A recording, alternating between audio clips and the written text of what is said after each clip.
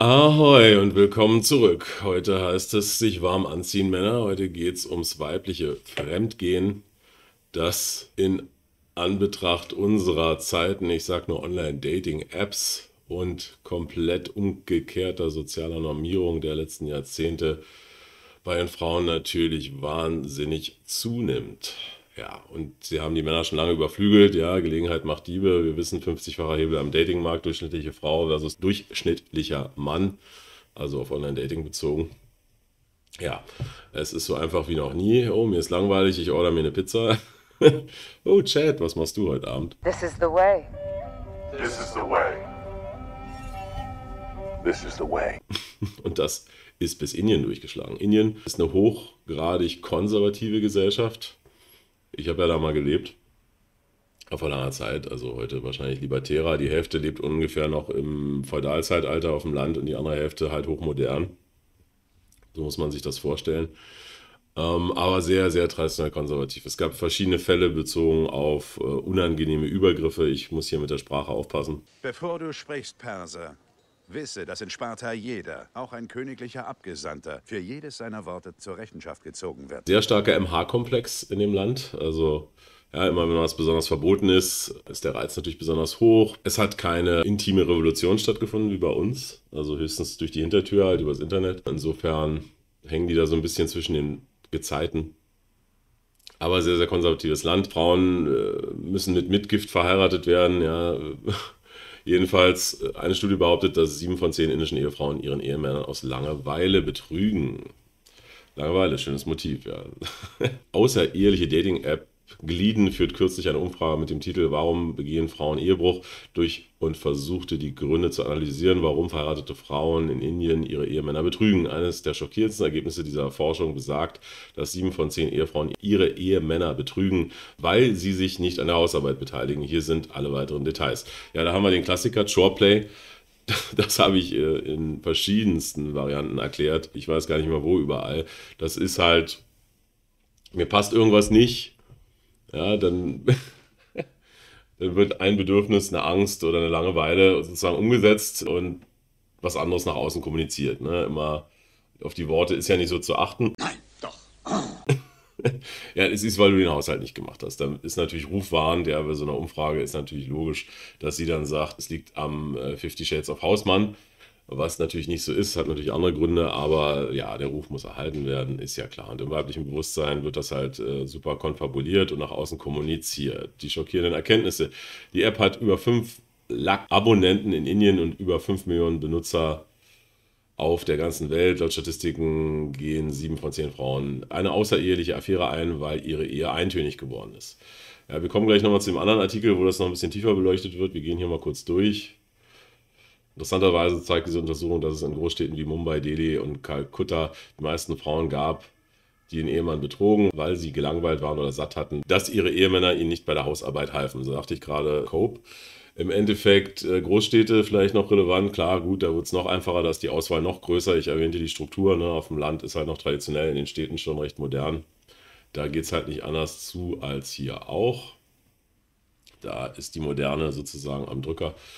Gut, die Altersgruppe. Die außereheliche Dating-App kam 2017 nach Indien. Laut eigenen Angaben sind 30% ihrer Nutzer verheiratete Frauen in der Altersgruppe 34 bis 49. Ja. Die möglichen Gründe. Rund 77% der verheirateten Frauen gaben zu, ihren Partner betrogen zu haben, weil ihre Ehe eintönig geworden war und eine außereheliche Affäre ihnen dabei half, ihrem Leben mehr Würze zu verleihen. Ja. Ich erwähnte mal in einem Video, dass nach vier Jahren bereits fünf Jahren ja, die Ehezufriedenheit, die intime Anziehung der Frau praktisch auf Null fällt, weil sie die Gene streuen soll. Also da ist vielleicht die Evolutionspsychologie auch im Weg. Wenn es um die Monogamie geht, wir sind nicht ganz so dafür gebaut. Wenn nach vier, fünf Jahren die Limerenz vorbei ist, das Kind im Stab mitlaufen kann, bleibt eigentlich nur noch die soziale Normierung, die die Beziehung am Laufen hält, damit das Kind eben auch eine vernünftige Genese kriegt, weil das ist halt das Wichtige. Die Vaterlosigkeit, auch so wichtig die Mutter für die ersten drei Jahre ist, absolut eigentlich allein wichtig. Das muss man zugeben. Ist es in der Entwicklung danach halt sehr wichtig, dass der väterliche Rahmen gegeben ist. Über die Auswirkungen von Vaterlosigkeit habe ich an so vielen Stellen was gesagt. Hat Klaus Thiele Videos gemacht, mache ich vielleicht auch nochmal. Andere Statistiken. Unter den fünf Lack-Nutzern akzeptieren 20% der Männer und 13% der Frauen, dass sie ihre Partner betrogen. Warum tust du denn sowas? Außerdem ziehen es rund 48% indische Frauen, die sich für eine außereheliche Affäre entschieden haben, vor, jemanden über eine Dating-App kennenzulernen, weil die Plattform Sicherheit und Privatsphäre bietet. Ja, viele haben es halt auch akzeptiert, vielleicht resignativ, vielleicht einfach, weil sie sagen, gut, für die Kinder passierte auch häufig früher, ja, da soll man nicht traditionell konservativ die Vergangenheit idealisieren. Damals war es halt wesentlich schwieriger. Ja, die, der technische Fortschritt bietet halt diese ideale Privatsphäre und Sicherheit. Ja, klar, der Ruf ist sozusagen nicht gefährdet. Die oberste Direktive Ausschuss aus dem Stamm, ja, gerade in Indien mit einer sehr traditionell konservativen Gesellschaft ist natürlich super, aber auch hier und überall anders ist das eigentlich die Befreiung der Frau. Sie kann sich frei ausleben, ohne dass es irgendjemand mitkriegt. Chat ist in einer Stunde da, knickknack, kein Problem. Niemand guckt mehr drauf, selbst wenn die sozialen Normen im Westen jetzt weicher sind, äh, spielt diese Rufdirektive bei der Frau natürlich immer noch eine große Rolle. Es ist sozusagen so einfach wie noch nie. Und dann sehen wir halt, wie im biopsychosozialen Modell erläutert, ja, wenn die soziale Normierung komplett wegfällt, kommt die reine Biologie durch, die Evolutionspsychologie. Deswegen ist die RP so am Durchschlagen bis in den Mainstream rein, weil wir es jetzt einfach offen sehen können, was immer ein bisschen verdeckt war. Ja, und durch die technischen Möglichkeiten natürlich noch verstärkt wird. Was das wiederum für eine Auswirkung auf die Psyche hat, ich ging gerade auf die Vaterlosigkeit ein. Psychopathologien pflanzen sich 40 Prozent erfolgreicher fort, ja, auf so einem Markt wahrscheinlich noch viel höher. Da gab es eine Studie in der Bibliothek des Hasses, die ich jetzt nicht raussuchen werde, die ich sehr interessant fand ja, durch vaterlose Haushalte, die Ergebnisse sind katastrophal, wird dieser Effekt noch verstärkt, heißt äh, auch die Psyche, das, der dritte Faktor im biopsychosozialen Modell, wird auf Dauer mächtig leiden und wahrscheinlich die evolutionären Effekte noch weiter verstärken. Das wäre die sozialpsychologische Gemengelage, die ich hier ausmache. Die Homosexuellen. Die Wie sieht's mit Homosexualität aus, Tony? Magst du Männer, hä? Ziehst du dir gern Frauenkleider an? Die Recherche sprach auch über die steigenden Zahlen homosexueller Menschen, die zu traditionellen Ehen gezwungen wurden und nun ihre gleichgeschlechtlichen Partner in der App finden. Ja, das ist die Zeitgeist-Tugendhaftigkeitssignalisierung, ja, Patriarchy, Unterdrückung, jetzt können sie sich endlich ausleben. Okay, mag es geben, aber naja, ich würde sagen, das ist in Indien vielleicht ein höherer Anteil, aber insgesamt wird das nicht das Ding sein. Die Umfrage mag einige überzeugende Statistiken geliefert haben, aber gelten diese Ergebnisse für die gesamte indische Gesellschaft. Die Stichprobengröße dieser Studie beträgt nur 5 Lachs und repräsentiert nur einen Bruchteil der indischen Bevölkerung, die über 133 Cores beträgt. Das sind Einheiten, die ich jetzt nicht zuordnen kann. 5 Lachs Millionen. Und das sind, glaube ich, 1,3 Milliarden oder so. 133 Crores. Außerdem basiert die Forschung nur auf ihren Benutzern, aber was ist mit verheirateten Frauen, die keine Dating-Apps verwenden oder kein Smartphone haben? Ja, das werden wahrscheinlich die auf dem Land sein. Also wenn man es jetzt auf Indien bezieht mit dieser starken Zweiteilung in äh, Mittelalter und Moderne, wird es da definitiv äh, Unterschiede geben in der Gesamtstatistik. Aber hier von unserer Warte her haben wir hier kein Mittelalter irgendwo auf dem Land. Für uns sind diese Statistiken doch sehr relevant. Also ich denke, hier wird es nicht viel anders aussehen. Ich hatte, glaube ich, in einem TikTok ja, was übers Fremdgehen, ich glaube im letzten. Es ist einfach zu einfach geworden. Ne? Also wirklich schade. Langfristige Beziehungen werden äh, immer, immer unrentabler, einfach wie gesagt, als Mann entweder zu den Tops gehören und sich selbst ein Harem schaffen, ein Rotationssystem oder eben aussteigen aus dem Markt oder halt Brotkrumen aufsammeln. Wird immer wahrscheinlicher. Ach so, käufliche Liebe habe ich noch vergessen, die ist ja noch erlaubt. Mal schauen. Bist du sein Mädchen oder was? Ja, ich bin sein Mädchen. Wenn du mir genauso viel bezahlst, bin ich auch deins. Wie lange noch oder eben Pron und so weiter. Aber das klassische Modell, was eigentlich so wichtig und prägend war für die letzten zigtausend Jahre, ist auf dem absteigenden Ast. Vier von tausend heiraten noch in den USA. Ja, darauf können wir uns einstellen. Frauen betrügen häufiger als Männer. Hier ist der Grund. Und hier sind einige interessante Gründe. Die Wissenschaft hat herausgefunden, dass Frauen mehr Schwierigkeiten haben als Männer, wenn es darum geht, in Beziehungen treu zu bleiben. Hier erstmal die erste wichtige Erkenntnis. Frauen sind wesentlich untreuer als Männer. Ich sagte bereits, Gelegenheit macht die über 50-facher Hebel am Datingmarkt. Die Hypergamie spielt natürlich hier rein. Die hypergame Selektion. Die kleine Klasse an Chats oder psychopathischen Narzissten, wie ich immer gerne überspitzt sagt, an der Spitze der Kompetenz-Dominanz-Hierarchie, in dem Fall vom Aussehen, werden ermächtigt, lustigerweise von den starken, unabhängigen Frauen. der kleine Treppenwitz der menschlichen Evolutionsgeschichte in der Inter Intimität. Tja, you go, girl. Ich bin so verfickt schlau, dass selbst die schlauesten Leute neben mir das Gefühl haben, zurückgeblieben zu sein. Selbst wenn ihre Ehe gut ist, vermissen sie immer noch diesen Rausch, sich so aufgeregt zu fühlen, dass sie weder essen noch schlafen können, wenn sie emotional und intim eine so intensive Zeit mit einer neuen Person haben. Das ist es, was ich weiter verfolgt habe und wozu ich nicht Nein sagen konnte. The Tingles, the Butterflies, the Tingles, sagt Better Bachelor immer. Also das gute Gefühl im Bauch, die Schmetterlinge, ja, die Jagd, oh Gott, der Dopaminrausch, ja. Frauen, äh, Loch im Inneren, sagte ich schon beim Konsum, äh, so genauso wird durch die Aufhebung der Schamnormierung und der intimen Moral natürlich das genauso zur Wegwerfware. Ja, warum sollten sie sich anders verhalten? Wenn äh, es sogar ins Gegenteil verkehrt wird, wie ich schon sagte, ja, dann äh, werden sich hier auch ihren Fix suchen. So klar, tun Männer auch, wenn sie es denn können, will ich gar nicht äh, kleinreden. Aber äh, Frauen, wie gesagt, evolutionär, aber auch psychologisch wesentlich schneller gelangweilt. Das ist erstmal die Erkenntnis. Und heute können sie diese Langeweile auch sehr einfach und schnell bekämpfen. So beschreibt Annika, 45 aus Melbourne, ihre Erfahrung mit dem Fremdgehen und ist damit noch lange nicht allein. Laut einer wachsenden Zahl von Forschungsergebnissen sind viele Frauen in langfristigen Beziehungen intim, abenteuerlustig und haben heimlich Liebhaber. Ja, heute so einfach wie noch nie.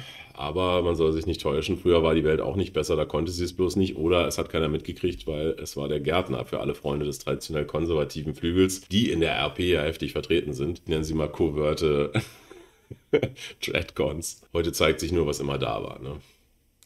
Die Ansicht, dass vor allem Männer betrügen, weil ihre Partner die äh, Lust an Bunga verlieren, ist überholt.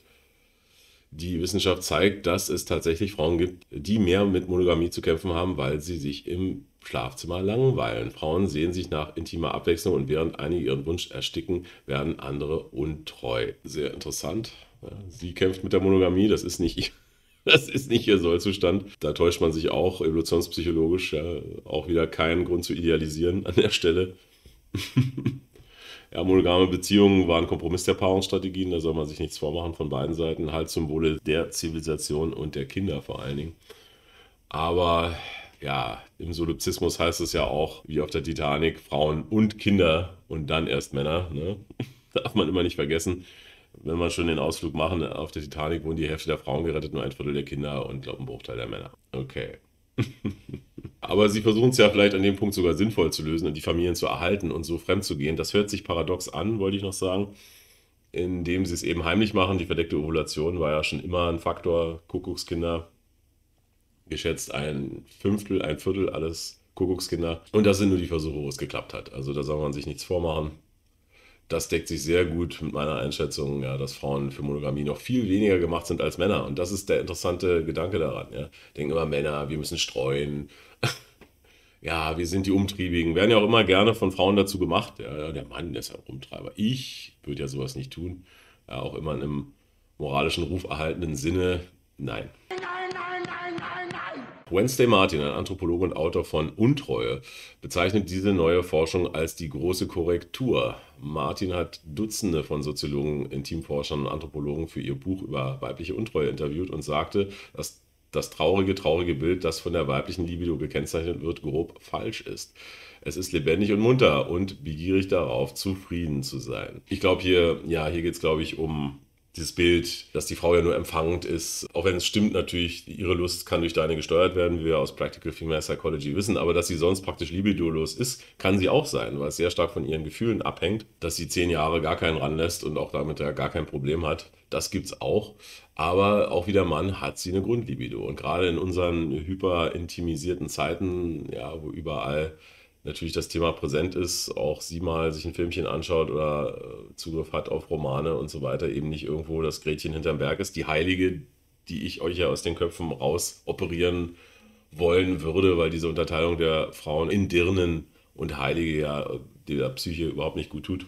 Abgesehen von der evolutionären Vaterschaftssicherheit, aber das war ein anderes Thema in Practical Female Psychology, MH-Komplex. Die neue Forschung korrigiert falsche Vorstellungen, dass Frauen eine geringere Libido haben, dass Frauen von Natur aus monogam sind und dass es für Frauen einfacher ist, eine Partnerschaft fürs Leben einzugehen. Frauen mögen Intimität nicht weniger als Männer, aber sie werden von intimer Gleichförmigkeit gelangweilt. Und da ist der interessante Punkt. Ja, ein Mann mit seiner Vasopressinbindung, wenn der sich rational auf eine Frau einlässt, weil es für uns eben ein körperlicher Vorgang ist, das ist ein ganz wesentlicher Unterschied, das ist ein körperliches Grundbedürfnis wie andere Grundbedürfnisse, können wir, auch wenn es langweilig ist, ja, irgendwie mit einer Frau zusammenbleiben und wenigstens unser Grundbedürfnis stehen. Da ihr intimes Bedürfnis eben stark mit ihrer Psyche verbunden ist, ist es da wahrscheinlich wesentlich schwieriger, monogam mit einem Partner noch Lust zu empfinden. Ich erwähnte vorhin schon die Studie, dass nach vier, fünf Jahren sowieso der Ofen aus ist. Vielleicht liegt das dann auch daran. Während Männer ein höheres Maß an spontanem Verlangen haben können, übernehmen Frauen die Führung und für reagierendes oder ausgelöstes Verlangen. Ja, das sagte ich gerade, körperliches Bedürfnis. Sie ist reaktiv auf das, was sie sieht, auf das, was sie antörnt und das ist, wie wir wissen aus dem Datensatz, irgendwas 1,8% am Ende gematcht wenn sie das sieht, hat sie durchaus dieselben Anlagen wie ein Mann. Ja? Also nur passiv ist sie auch nicht. Und wenn dir sozusagen einer immer die Möglichkeit vor die Nase hält, ja, da muss ich die Frauen jetzt auch mal in Schutz nehmen. Wenn du jetzt die Seiten wechseln würdest, hier auf Tinder Zero Matches und du hättest jetzt auf einmal 100, 300 Matches in drei Tagen und hättest praktisch diese ganzen Möglichkeiten, ja, okay, der Vergleich hinkt, männliche Intimität und Wahrnehmung anders als weibliche, klar, aber es ist klar, was gemeint ist. Es wäre doppelmoralisch zu sagen, äh, ich würde das natürlich nicht nutzen. Nee, Männer würden das äh, brutal ausnutzen. Tun ja die Top-Prozente auch. Insofern ist man da auch ein bisschen durch die technischen Möglichkeiten halt in einer Situation, die ebenso ist, wie sie ist. Spontanes Verlangen ist, wenn du plötzlich denkst, es wäre schön, Intimität zu haben. Es überkommt dich wie Hunger oder Durst, sagt Martin. Reagierendes oder ausgelöstes Verlangen tritt auf, wenn ihnen etwas Intimität suggeriert. Sie sehen oder lesen etwas oder ein Partner initiiert eine intime Begegnung und sie werden erregt. Für diese Art von Verlangen ist die Libido der Frau genauso stark wie die der Männer. Wir haben diese Vorstellung verinnerlicht, dass Männer das äh, geilere Geschlecht sind und das stimmt nicht.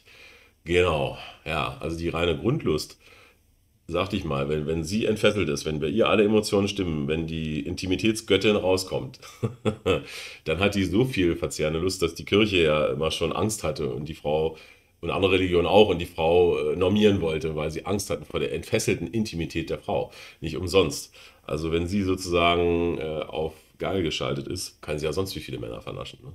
Sie braucht halt bloß von außen immer noch ein bisschen Blatt im Wind natürlich so den Schubs. Aber wie gesagt, mit Instagram auf dem Handy kann sie sich immer mal einen heißen Typen angucken. Und äh, dann geht es bei ihr genauso ab. Also insofern müsste man bei den Moslems überlegen, ob man nicht auch die Männer verhüllt oder das Handy verhüllt. Ihr müsstet eigentlich ein Kopftuch fürs Handy machen.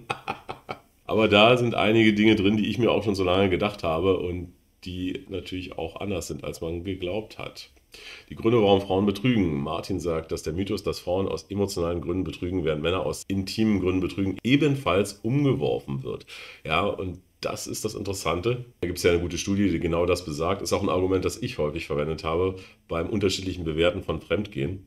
Hier sind wir mal gespannt. Sie zitiert Forschungsergebnisse der Missouri State University über eine Gruppe von Frauen, die die Website äh, von Ashley Madison speziell zum Betrügen benutzen. Ja, die ist bekannt. Diese Forschung sprengt einige unserer am meisten gehegten Vorstellungen über weibliche Untreue. Dass Frauen nur betrügen, wenn sie in der Ehe unglücklich sind. Dass sie im Gegensatz zu Männern eine emotionale Verbindung suchen, keine intime Befriedigung und dass Frauen einfach in Affären stolpern. Es ist einfach passiert, Joey. Ja, natürlich, ich weiß. Es ist einfach passiert. Es könnte jedem passieren. Es war ein Unfall, richtig? Du bist ausgerutscht, auf den Boden gefallen und dabei landete zufällig dein Schwanz in meiner Frau. Dass sie einfach in Affären stolpern, wäre wieder so Rufgeschichte. Ja, sie selektiert schon sehr bewusst. Das hätte ich auch schon vorher gedacht. Aber das andere ist beachtlich. Sie betrügen nicht, wenn sie unglücklich sind. Sie, ihnen ist einfach langweilig. Das ist es. Du machst als Mann alles richtig. sie will einfach trotzdem woanders naschen. Das ist nicht deine Schuld sozusagen. Und sie kann auch ohne emotionale Verbindung Intimität haben. Ja, da müssen viele jetzt auch umdenken. Das geht durchaus. Was jetzt mit deiner Vaterschaftssicherheit abgeht, mit deinem MH-Komplex, wenn du das hörst, ja, oder deinem Zynismus, ist wieder eine andere Frage. Aber wenn die Forschung stimmt, ich müsste die Studien auch nochmal nachprüfen, durchaus kann da was dran sein. Gerade die moderne Frau, die ja sehr, sagen wir mal, narzisstischer ist, kälter ist, mehr Testosteron hat, karriereorientierter ist, die kann durchaus auf dem Karussell bindungslos Intimität haben. Kann natürlich sein, dass sie Emotional Damage irgendwann kriegt, keine Frage. Emotional Damage! Die Studien gibt es natürlich auch. Aber sie können das ja auch super kompartmentalisieren im Zauberwald. Eine Frau wird euch niemals ihre echte Zahl der Partner mitteilen, instinktiv, weil sie immer noch weiß, dass Männer eben die Vaterschaftssicherheit haben. Äh, man muss es immer verdoppeln, verdreifachen, das wissen wir. Oder sie zählt einfach schlichtweg diese Affären zwischen ihren langfristigen Beziehungen oder One-Night-Stands nicht mit. Die sind wirklich im Zauberwald verschwunden. Ja, ob die als Giftmüllfässer da immer noch liegen, aber sie kann das wunderbar dissoziieren. Das ist einfach so passiert und dann ist es hinterher nie passiert. Klar. Natürlich. Also ideale Bedingungen, das auch so durchzuziehen, sehen wir ja auf dem Markt. Das Interessante ist halt, dass äh, das eigentlich fast nicht zu verhindern ist. Wie gesagt, Kopftuch fürs Handy. Ich sage immer, das ist das Hauptproblem. Ich meine, okay, wenn es nicht das Handy ist mit der Überauswahl und den ganzen schönen Instagram-Bildern, ist es dann vielleicht ja, der Yoga-Lehrer oder früher war es halt äh, der Bergführer oder was weiß ich. Es war nie anders in meinen Augen. Deswegen sage ich ja auch immer, ich würde einer Frau nie so weit trauen, wie ich sie werfen kann. Ja, du kannst in Beziehung die beste hypergame Option sein und wirst sie irgendwie schon halten können, wenn du das alles gebacken kriegst. Aber eine Garantie ist es nicht. Und das war auch nie eine Garantie. Hier zeigt sich halt, wie einfach es heute ist. Insofern ist der Grundsatz, wenn sie aus der Tür raus ist, stell dir einfach vor, sie ist mit drei POCs zugange. Absolut bindend, auch in Beziehungen, sage ich. Also ohne die Frau dabei zu diskreditieren. Ich kenne einfach diese Verdrängungsmechanismen. So. Ich habe mich ja damit beschäftigt. Da, da, da, ich mach mir die Welt wieder, wieder, wie sie mir gefällt. Das muss nicht immer mit böser Absicht zusammenhängen. Nun ja. Die untersuchten Frauen besuchten die Website, erstellten ein Profil, überprüften die Kandidaten, trafen sie persönlich und hörten sie vor. Dies war ein sehr beabsichtigter Prozess. Sie wollten Partner für Intimität finden. Sie gaben an, in geschlechtslosen und orgasmuslosen Ehen zu leben. Und sie wollte einfach das, was sie zu Hause nicht bekommen konnten. Aber die meisten waren ansonsten glücklich zusammen oder verheiratet. Und diese Affären waren eine Möglichkeit für sie, in ihren primären Beziehungen zu bleiben. Es gibt also, es gibt also den Mythos, dass Frauen, die fremdgehen, unglücklich verheiratet sind. Nicht, muss das wahrscheinlich heißen. Das wiederum ist sehr interessant. Deswegen ist es so wichtig, Intimleistungen zu bringen. Deswegen ist es für Männer so wichtig, äh, auch hier top zu sein. Ja, das wird immer so ein bisschen vernachlässigt. Ja, ob du jetzt Six Inches in the Pants hast, eine der Sechsen hast, ja gut, da kannst du dann vielleicht nicht viel für. Aber wir denken an Fifty Shades of Grey du musst was bieten können. Wenn du sie nicht zum Kommen bringst, brauchst du gar nicht erst antreten. Auch bei dem Alpha-Witwentum wird häufig was missverstanden. Die kann ja dann 20, 30, 40, 50 Partner haben oder 100 oder 300 oder was auch immer. Klar, mit der steigenden Anzahl korreliert natürlich auch psychologische Auffälligkeit, ja, was jetzt ursächlich ist, kann man nicht genau sagen, ja. Aber durch dieses Kompartmentalisieren, durch dieses Zauberwalden, erinnert sie sich sowieso nur an die Typen, die richtig top waren. Was ich mal in Practical Female Psychology sagte. So, wenn die dann erzählt über ihre vorigen Typen und dann ganz verträumte Augen kriegt, oh, mein Handwerker, oh, mein Fremdenlegionär oder was auch immer. dann weißt du Bescheid, ah, das ist das eigentliche Alpha-Witwentum. Wenn du der Beste bist in ihrer ganzen Ahnenreihe von Partnern, die immer größer sein wird, als du je erfahren wirst, darüber müssen wir uns klar sein, die Frauen fangen schon sehr früh an. Ich frage dich, ob dieses Spiel sexueller Natur ist. Wir haben es nur einmal gespielt. Leben in einem unendlichen Überfluss, der heute auch noch, wie gesagt, völlig unschamnormiert ausgenutzt wird. Kommt es letztlich nur darauf an, dass du auf jeden Fall im Top-Bereich bist. Einer der, der Beste bist im Bett. Ganz einfach. Fantasievoll, einfallsreich. Und dann passiert dir sowas vielleicht nicht. Ne? Also da, das unterschätzen Männer wirklich, die dann denken, okay, ich habe die jetzt sicher und dann mache ich mal hier meine 15 Minuten und einmal die Woche und das läuft nicht. ist ja eigentlich eine positive Nachricht, ja. Das ist halt für LD-Männer, wenn wir es jetzt so wollen, die einen Low-Drive haben, die müssten sich halt eine Frau suchen, die entsprechend ist. Das Schlimmste, glaube ich, in einer Ehe wäre, wenn die Libido unterschiedlich liegt. Und da wird häufig nicht drüber geredet. Das wird häufig halt schambehaftet immer noch nicht gesagt, bin ich der Meinung. Ja. Sie lächelt dann, Ruferhalt, ja, setzt halt die Ninja-Maske auf und sagt, ah, du warst toll, Schatz, ist nie gekommen. Du hast deine 10 Minuten geliefert, einmal die Woche und denkst, du bist der Held. Ja, das, sie spiegeln dich ja, wenn ja sonst alles stimmt. Das wäre in dem Beispiel genau der Punkt. Nee, da sollte man intime Kenntnisse haben, wie man eine Frau anregt. Ich werfe ja auch den Frauen immer vor, dass sie es einfach aufgrund dieser krassen Masse verlernt haben, wie man die Fantasie des Mannes anregt, wie man ihn erregt. Ja, das ist eine ganz seltene Kunst. Wenn ich auf so eine Frau mal treffe, bin ich hin und weg sofort, weil das ist halt heftig. Und wenn du als Mann das Gleiche kannst, ist das natürlich ein heftiger Skill, so, der dir auch deine Ehezufriedenheit länger erhalten kann bei allen negativen Faktoren. Nicht die trojanische Armee hat sie gerade durchgefickt, sondern ich, Winzling. Sie hat diesen Ausdruck im Gesicht. Hey, scheiße, wie ist das passiert? Eine weitere kritische Studie von Dr. Martha Mena von der Universität of Nevada fand heraus, dass die Institutionalisierung einer langfristigen Partnerschaft das intime Verlangen von Frauen stärker dämpft als das von Männern. Männer, die regelmäßig Intimität mit ihren Partnern haben, sind intim und mit ihrer Beziehung zufriedener. Aber das ist bei Frauen nicht dasselbe, sagt sie. Ja, das, was ich meinte vorhin. Für uns ist es einfach ein physischer Akt. Oh, okay, gut. Oh, ich fühle mich gut. Und für sie ist es eine psychologische Geschichte. Deswegen, wo ist das größte Intimorgan der Frau zwischen ihren Ohren? Jetzt erwägen Intimforscher die Möglichkeit, dass Frauen einfach mehr Abwechslung und Neuheit in der der intime Erfahrung brauchen als Männer. Ja, garantiert. Eine Vorstellung, die Frauen wie Gabriella, 28 aus Sydney, schon länger bekannt ist. Seit meiner ersten Beziehung während des Studiums hatte ich viele Affären. Ich liebe Intimität und langweile mich schnell, aber Männer sehen eine Affäre als Affront gegen ihre Männlichkeit, gegen ihre Vaterschaftssicherheit, würde ich sagen. Sie alle denken, dass sie mir ausreichen sollten. Und wenn ich versuche, Wege zu besprechen, wie ich das Interesse am Leben erhalten kann, behandeln sie mich, als wäre ich nicht normal. Ja, da kommt der MH-Komplex rein, natürlich auch die Vaterschaftssicherheit, aber es ist ja auch dein Beziehungsmodell. Das muss man ja von vornherein klären. Was, was bist du für einer Swinger, Karussell-Lady, alles klar. Und dann kriegt sie halt die Aufgabe in deinem Leben, die auf sie passt. Du sollst nicht die Frau passend machen für dich, das ist ja mal der Fehler, den Männer machen, sondern gucken, was ist das für eine? What you see is what you get. Und dann kriegt sie die entsprechende Rolle. Okay, äh, Start Nummer 5. aber für eine langfristige Beziehung, wo sie ja auch Zugriff hat auf das, was du an den Tisch bringst, vielleicht deine Kompetenz, deine Kohle sowieso, deine Überstellung, deine psychologische Regulation, dafür muss sie noch eine Gegenleistung bringen. Das ist ihr dabei nicht so ganz klar. Sie geht halt von Augenhöhe aus, von einem Tausch auf Augenhöhe, Intimität gegen Intimität. Ja gut, das sieht man ja in der Hypergamie, äh, ist das ja nicht so. Ja, allein schon durch das Ansteuern der Überstellung kann ich schon verstehen, dass die Männer dann sagen, nee, das müssen die Frauen auf der anderen Seite akzeptieren. Ne? Das ist immer über die Jahrhunderte so gewesen, dass sie ihre Sexualstrategie eben auch beschränkt hat, genau wie er seine beschränkt hat, wenn es denn äh, zum Ausgleich kam. Und hinterm Rücken wurde sowieso genug gemacht. Was sollte normal sein? Eine Frau, die sich zurücklehnt und langweilige Intimität nur so hinnimmt, das ist die Geschichte, die Frauen verkauft wurde und es ist einfach falsch. Tja, schwierig an der Stelle, muss ich wirklich sagen. Ich könnte eine Geschichte erzählen dazu aus meiner Vergangenheit. Ich war mal in so einem Swingerclub. ja, nur mal so zum Beobachten. Das ist jetzt nicht so meins mit Exhibitionismus und so, aber man ist ja mal neugierig. Und da habe ich Paare gesprochen, die wirklich lange Beziehungen geführt haben und eben einmal im Monat dahin gehen und das so aus dem System rauskriegen. Ist für manche Männer undenkbar, kann ich verstehen, würde ich mir auch nicht vorstellen. Aber die wirkten recht glücklich und hatten Kinder und das hat irgendwie funktioniert. Ja, das, müssen dann aber wirklich beide drauf haben. Aber äh, da hat es auch funktioniert, will ich mal sagen, um das hier mal zu unterschreiben. Weil jetzt gleich die Aufschreie höre, was, die geht doch emotional fremd.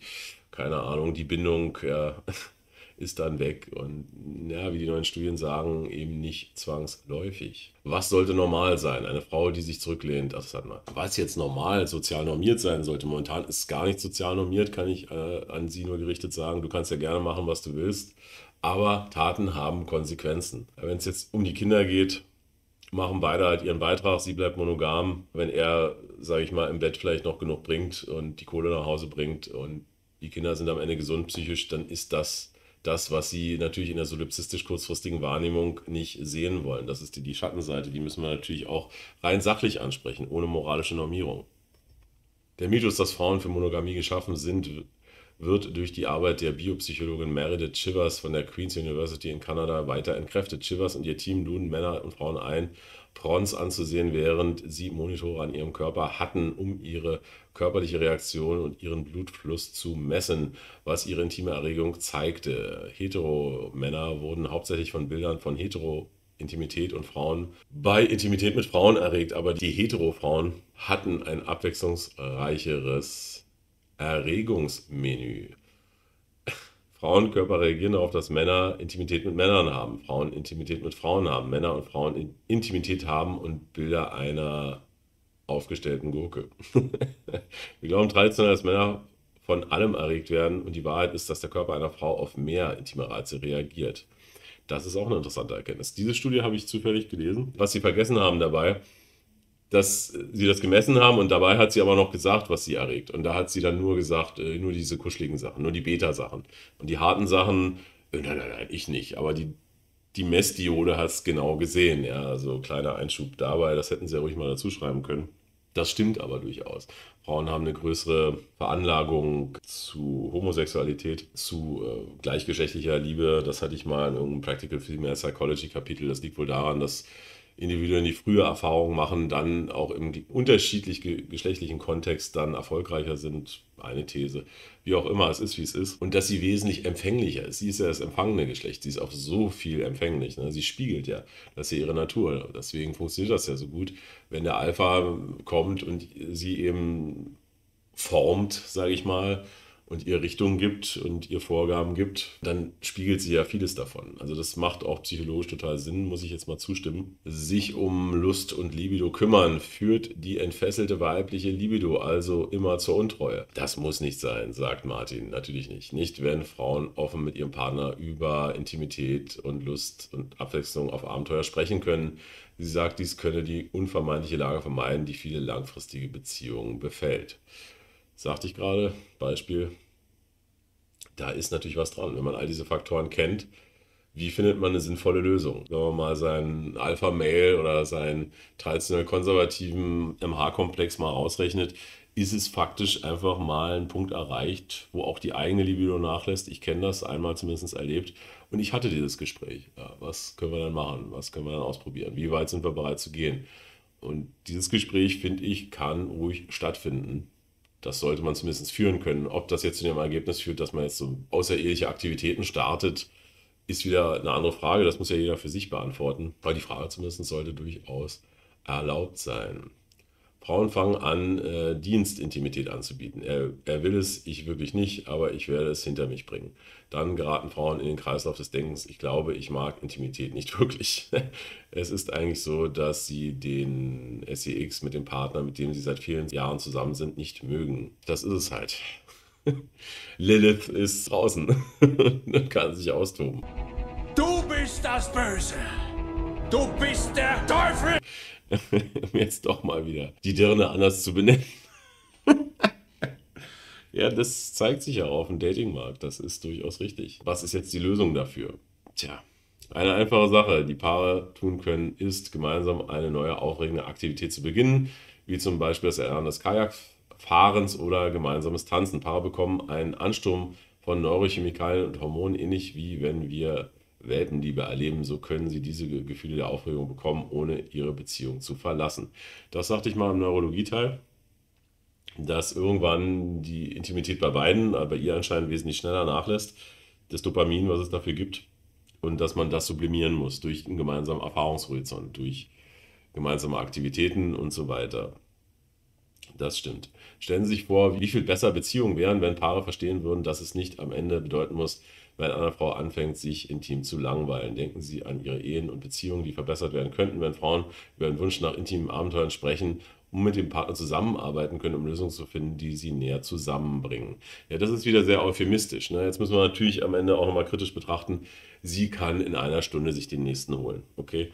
Sie hat den 50-fachen Hebel. Ja, wenn du müsstest du jetzt erstmal eine finden, eine Geliebte. also wenn es jetzt um Online wieder geht, ja, auch sonst haben es Frauen wesentlich einfacher an Intimität zu kommen.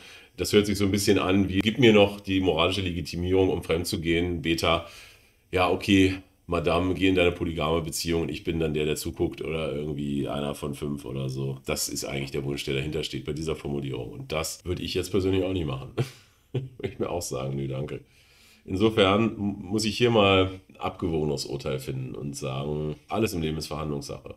Und das sollte man möglichst früh klären, bevor man ein Kind macht, bevor man äh, Eheringe austauscht oder so. Und das äh, finde ich unter zwei Leuten, die sich wirklich vertrauen, wichtig. Und da ist halt noch viel Schambelastung oder die Frau, die halt jetzt im negativsten Fall natürlich die Goldgräberin den Ring haben will und dich danach eh betrügt. Es ist besser, dieses offene Gespräch zu führen. Haben wir eine Match, eine Libido? Was ist eigentlich deine Vorstellung? Anstatt, dass sie dir eh fremd geht, weil das kann sie heute mit dem Handy super einfach. Und Frauen und Ehrlichkeit eh so eine Sache, die spiegeln ja auch nur das, was du sagst, so ungefähr. Wenn du dann sagst, ich bin Chatcon, ja, meine Frau ist meine Frau und wenn nicht und so, dann, dann, dann spielt sie dir die Heilige vor, kein Problem. und geht dann trotzdem fremd. Das ist ja das Schlimme, ja. Ich mache hier gerade Brainstorming, wie man die moderne Zeit irgendwie einfangen kann. Vielleicht ist besser, Sie gehen wieder nach Hause zurück und denken über alles nach. Denken genau nach. ich habe nachgedacht. Ich habe keine Ahnung. Ich glaube ja auch nicht, dass es geht. Ich bin ja auch nicht der, der hier noch für langfristige Beziehungen plädiert. Ich habe schon ein Kind in die Welt gesetzt. Ich weiß schon, wie das schief gehen kann. Ich habe genug Female Nature gesehen. Ich würde eh nur noch ambulant abfertigen, weil ich all diese Fakten kenne. Aber für alle, die es halt noch gerne machen wollen, sage ich, redet über sowas. Überlegt euch gut, wisst diese Fakten. Seid die beste Version eurer selbst. Es wird immer mehr Ansprüche an den Mann angelegt. Sie muss ja nur bloß existieren und ja, sich schminken und duschen. Und du musst jetzt auch noch äh, intim was an den Tisch bringen, du musst finanziell was an den Tisch bringen, Hypergamie, du musst eine Menge an den Tisch bringen und musst dann immer noch einsehen, dass es eigentlich zum Scheitern verurteilt ist von vornherein. Und dann immer noch eine Lösung finden. Die Lösung gibt es natürlich auch umgekehrt. Also ne, die Sekretärin vom Chef, wo die Frau dann das Haus hat und seine Ehefrau ist und dann wegguckt, weil, weil sie weiß, okay, ich habe die finanzielle Sicherheit, okay, gut, dann lass ihn mal machen. Gab es ja früher auch umgekehrt. Heute dreht sich halt das ganze System um. Jetzt ist die Frau am Drücker. Gut, wird keine befriedigende Lösung geben, sage ich gleich. Also ich bin ja eh der Meinung, am Ende knallt das System zusammen. Es hat immer nur auf der Unterdrückung der Intimität der Frau gefußt in allen Weltreligionen. Und einer ist der Verlierer an der Stelle, außer man findet eben einen Kompromiss, der für beide okay ist. Ja. Wie auch immer der aussieht, das ist sehr individuell. Bloß wie ich schon meinte, wenn man jetzt glaubt, ich bin Alpha Male und ich drücke hier meine Monogamie durch. Nun ja, egal. Viele interessante Gedanken zu dem Thema. Ihr könnt gerne in den Kommentaren mir widersprechen. Ich beschreibe hier nur die Realität. Ich habe es versucht, diesmal relativ wertfrei vorzutragen. Nun, damit endet meine Arbeit hier. Eure beginnt jetzt unten in den Kommentaren. Ahoi und bis bald.